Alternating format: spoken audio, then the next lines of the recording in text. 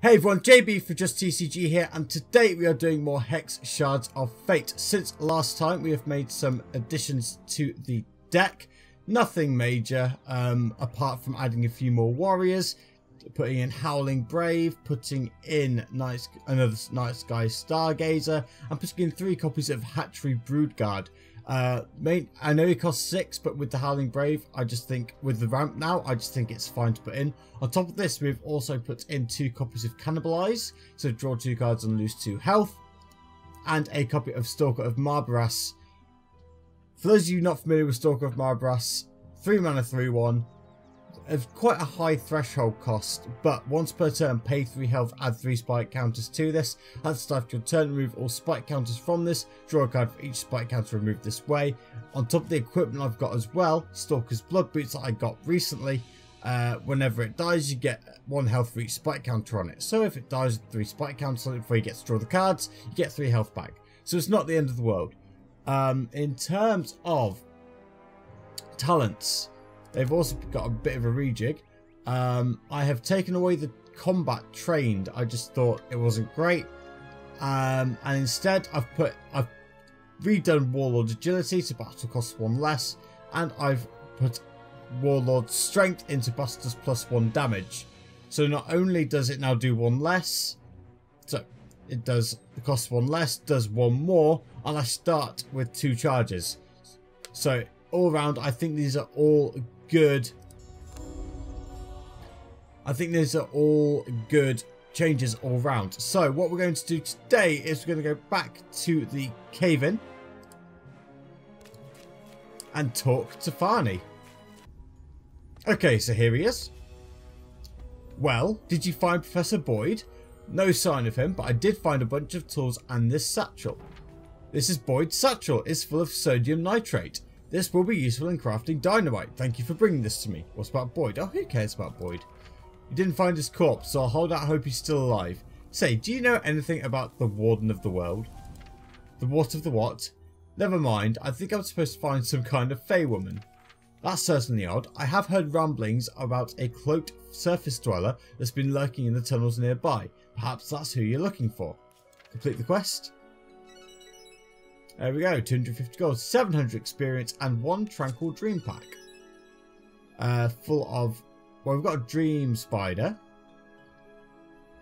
Doesn't look too bad, but nothing for us in terms of the equipment. Oh, I lie. There's equipment for Sora. Brilliant.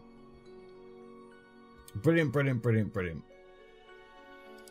So what we're going to do is very quickly head over and equip that now. We'll go to filter, filter everything out. Tanko of Terror. There we go. Sora now, instead of just requiring Shin'hares to sacrifice, you can now sacrifice anything. So there we go. Uh, let's talk to Myaa. Forgive me for the intrusion. We have not met before, and yet I see a strong sense of familiarity in your eyes. Uh, who are you? A traveller, like yourself. My name is Myaa. I think I was told to meet you here. Is that so? Who told you that? I had a dream. Sister Midnight told me to find a Fae of the First Mortals. Fascinating. I had a similar dream, traveller. In my dream, I was walking through a field of stars, stepping on constellations as if they were pebbles on a beach. I saw myself coming to the cave-in and meeting an ambiguous stranger. A cosmic voice whispered to me that this stranger was going to help me. To be fair, not ambiguous, I'm a bunny rabbit, I'm holding a sword. Help you with what? Forgive me, I am a bit confused. I never imagined you would be the stranger from my dream, Shin'hare.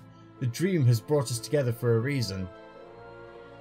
Sounds, uh, sounds like fate to me. I believe you are right. Why else would I be told to leave the Pharaoh route to travel to this subterranean hole? What purpose could it be? Well, in the dream, after I met this mysterious stranger, we parted ways. I remember the final words of the stranger were that they were going to find the army of myth. If the stranger is you, that must be your purpose. Well, what is the army of myth? I thought you would know, since it was you who said it in the dream.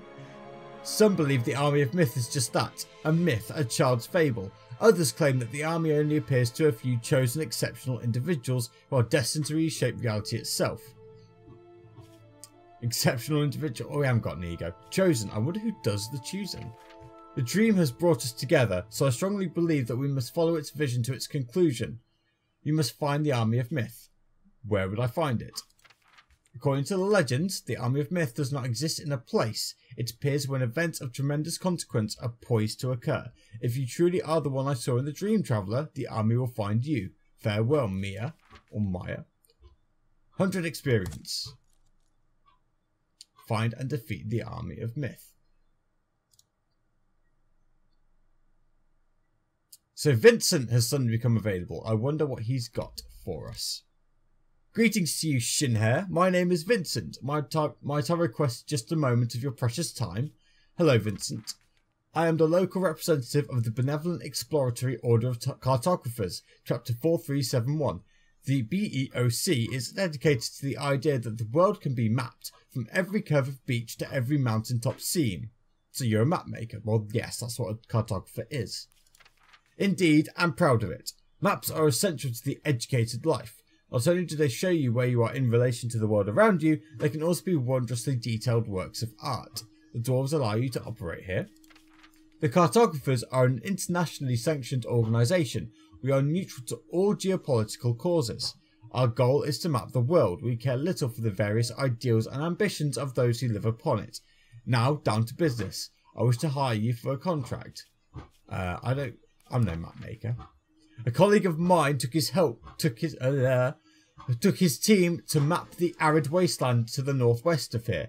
Herbert is an experienced expedition leader, so it is of great concern to me that I have received no word from him in weeks. I need an adventurer type to head to the desert and search for any signs of Herbert and his team. I'll take the job. Splendid. Now, in order to get there, you will have to go through the wildwood. This area is dense and can be quite confusing to traverse, even for an experienced traveller. Here, take this map. It will show you a map, uh, show you a path that should get you through the forest. Though it won't help you with the giant mosquitoes, so take precaution. Well, thanks for the warning and thanks for the map. You shall be well compensated if you manage to return to me with news of what happened to Herbert, or yet better yet, return with Herbert himself. I'll see what I can do. Indeed. So, got a couple of quests. You need to find a dust buzzard. You need to go to the Skittering Ridge at some point. We need to find it and defeat the army of Myth, and we need to find the lost gnomes in the northern desert. Lots of things to do. Let's go back onto the world map. Okay, so it looks like there's only one place we can go, and that is the Wildwood. Now, if you remember, we went through the Wildwood a bit last time and got lost a Tangled Jungle Path. Negotiating the dense wildwood is difficult and laborious, but thanks to the map that Vincent gave you, certain landmarks become apparent through the endless tangle. Just before the fall of dusk, the trees begin to thin out and you can actually see a break in the foliage. Oh, wow. Okay. Um. So, I want to go this way first because this way seems to go towards a quest. So we'll go here. A dark jungle, the Burkhart. Hopefully we don't get punished like in the piranhas last time. Tangled jungle vines loop over the path and impede your progress. You lift your weapon to hack at the ropey plants. You cease your chopping when you realise that the prickle at the back of your neck is not dripping sweat, but the intent gaze of the enemy hidden in the foliage. You spin and swing, striking an arrow from the air, causing it to ricochet off into the brush. You ready yourself for battle as a hidden enemy's attack. Okay, so we won the coin flip. We will choose to go first. Uh, first things first, however, um, let's have a look at what we're playing against here. Souls Crescendo, basic, 4, 1 ruby threshold, draw a card. Each champion gets at the start of your turn, draw a card, and at the end of your turn, discard your hand. Okay, so we want to look to get rid of our hand before he manages to play Souls Crescendo. And each champion starts with a permanent resource. We will go first. And this hand looks fine. And we'll start with a Monseki Deadeye.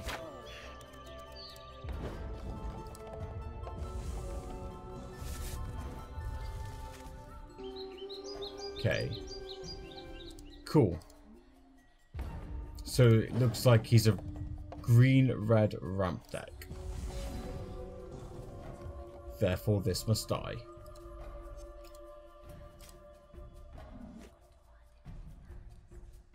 We'll then play a wild shard. Cannot play the Bucktooth Commander because we don't have two wild threshold, but we can play the Banner Bunny.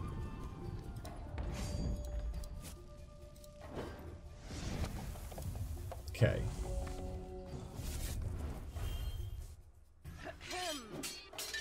There's a 2-1. Whilst it's attacking, it has Swift Strike. Sure.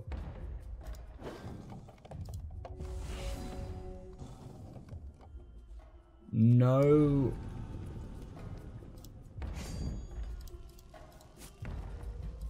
No third threshold.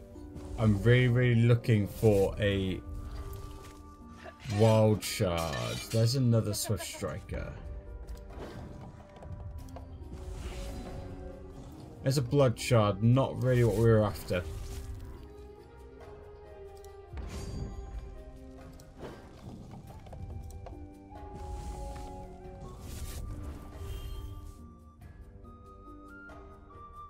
And we're in a world of hurt now.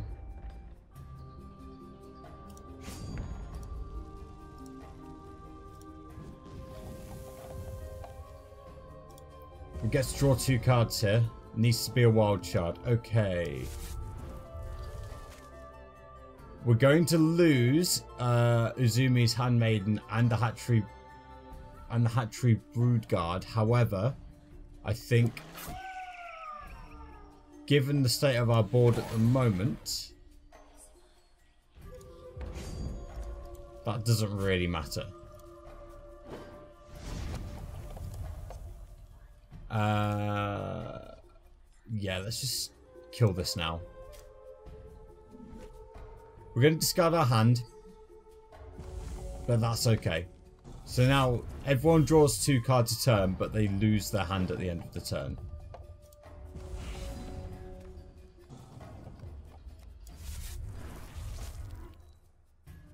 So, yeah. This has not worked out well for him. Nice easy win.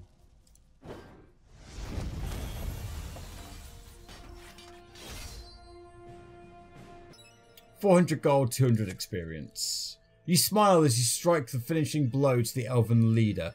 You search his body for loot and find a well-loved wooden flute in a hidden in a hidden inner pocket. You drop the flute to the ground. Crush the flute under your heel, turn and leave. no. Turn and leave. Okay, so on to the next thing we have here. The Barking Forest. A small grove of trees on the Howling Plains. A robot slumps under a tree on the side of the path. You creep behind the figure, wary of an ambush. The robot lies on its side with its back pried open. The parts that gave it the energy to move have been yanked out. There is evidence nearby that the robot was attacked by a small organised group. The robot's rear panel was pried open with spear tips. Three parts have been removed from the control panel without collateral damage to the robot's insides. You circle the robot's fallen form, following several sets of tracks until they diverge. You're able to identify one distinct set of prints, leading north into the Howling Plains. Okay, onwards and upwards. Indigo Plains. What brings you north of the Thunderfield? It's dangerous to tempt the elements without a Stormcaller. Oh, okay. Stormcaller? A Stormcaller has learned to bend the powers of the sky to their will, mages with powers more advanced than my own. How do you survive the storms? I ride the lightning, but you walked here, I followed your tracks. You followed tracks. Were you drawn here to me, or did you come of your own free will? Did you choose this path, or were you chosen? Did you kill that robot south of here? We did not kill it. We removed its shackles. We set it free! Oh, it's one of those. You have the parts that were taken from the robot?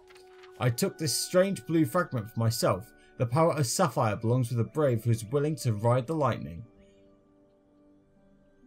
Let me see the piece. I'm curious to what sort of device can capture lightning.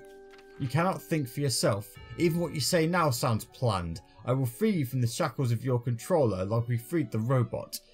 Really sounds a bit cultish, I'm not gonna lie.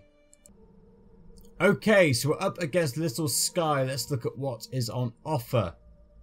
Whenever troop enters play, the next action in your deck grants a charge and ride the wind. Basic 1 Sapphire Threshold 4 charges. Each champion draws a card and gains charges equal to the drawn card's cost. Basically means we can sort of play it for free. Uh, we have Stalker of Marbrass in our opening hand, but we only have one shard of, of one blood shard, so we just have to be a bit careful. Um, I'm not actually a fan of this hand. I think we're going to throw it back. Yeah, I'm going to throw it back. This is not much better, but I'll keep it.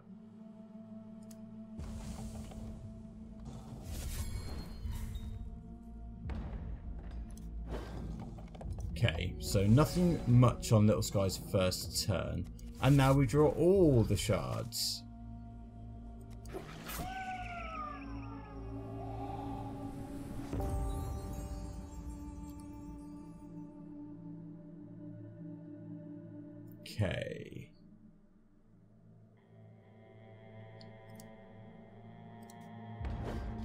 And we'll just end the turn there.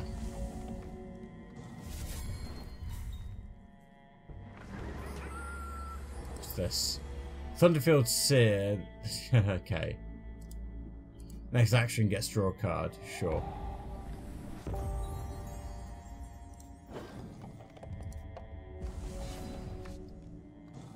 Well, not what we were after.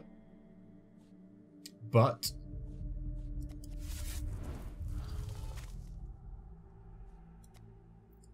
we will play a Munari Sensei. There's Evolve, interesting. And then we will exhaust or tap this to gain a charge. Ne next action action is going to draw gain a lot of charges and then we will just finish this.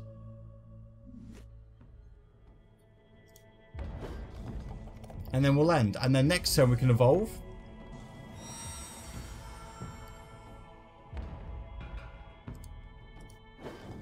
Nothing much happening.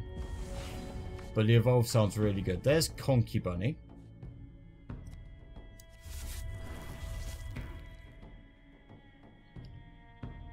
Uh, which I am just going to straight up play, I think.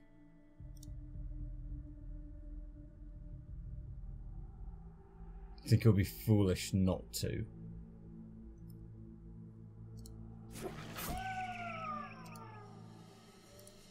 So yeah, game two, play the Conky Bunny.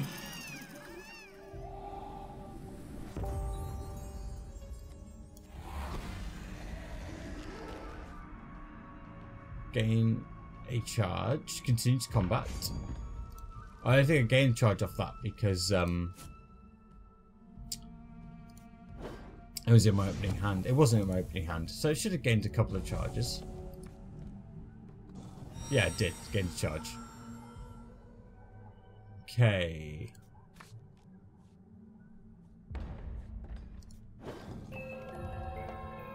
What's this? Three mana, two one, mentor a song, transform this into an oracle song and put it into your hand. What does the oracle song do? Ah, okay. Sure. I have no qualms with killing that.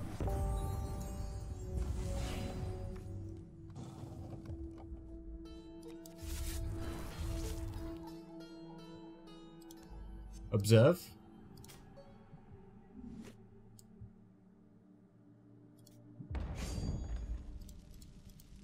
We will attack with everything except the Conky Bunny.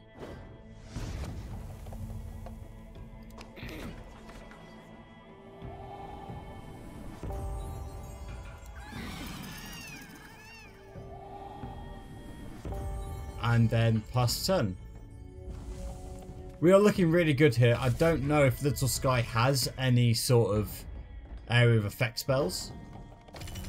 The Void is the orange swirl. Oh, it's it's like Exile. The void is the orange swirly whirlpool over by your deck. Cards that are banished there do not return. It is exiled, like in Magic the Gathering. Or banished in uh, Yu-Gi-Oh! Duel Links. Mastery of Time. Take an additional turn after this one. Sure. That is not really how you use a card like that, but sure.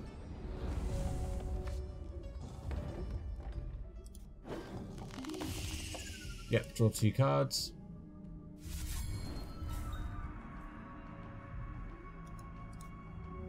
Well, thank you for wasting everybody's time there. Uh, there's a blood shard. I forgot to add a bunny hopper. My bad. Uh, we will attack for two, four, five, six. And then post combat, we will ramp up and play the uh, Hatchery Brood Guards that we put in our deck at the start of this episode. What's this? 6 mana 4 5. Prophecy, deploy. The next troop in your deck gets spell shield. Cute.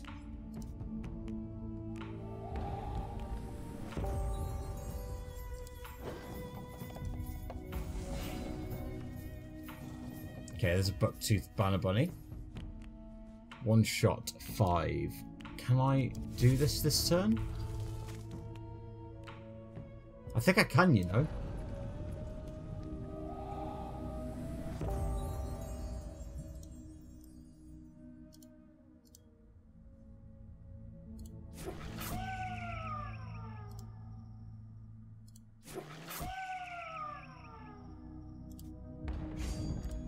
So we will attack with everything.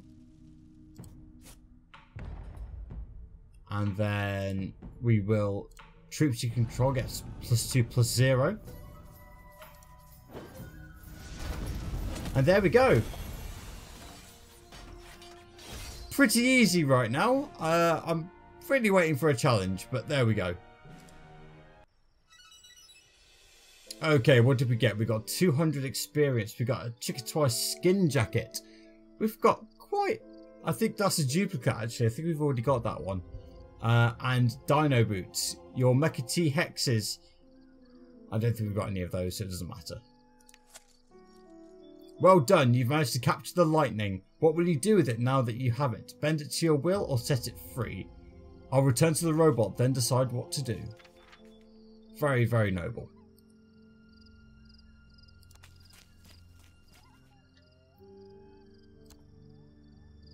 You match the prongs on the sapphire conduit to the receptacles in the robot's back, crackling blue energy arcs from the connectors inside. The robot hums to life.